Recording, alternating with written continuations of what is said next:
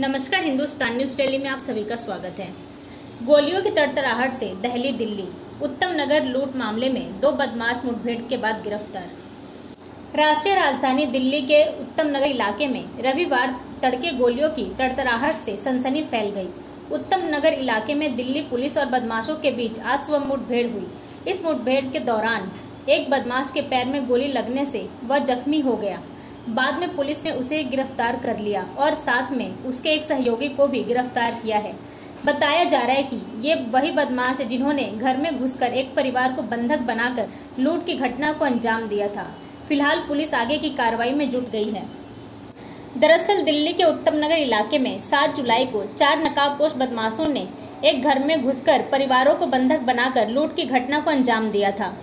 चार बदमाश चेहरों को ढककर हाथों में चाकू और पिस्तल लेकर घर में घुसे थे। फिर हथियारों के बल पर परिवार के सदस्यों को बंधक बनाकर लूट की घटना को अंजाम दिया था।